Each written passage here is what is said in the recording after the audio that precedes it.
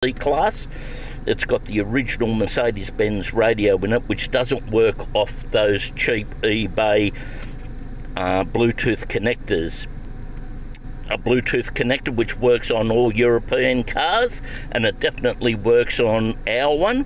Very easy to connect. Uh, we've got an Android and a uh, Apple phone, and it connects on both of them. Works very well on both. The sound is as good as um, anything through the radios. We're very happy with it. You want to? We're very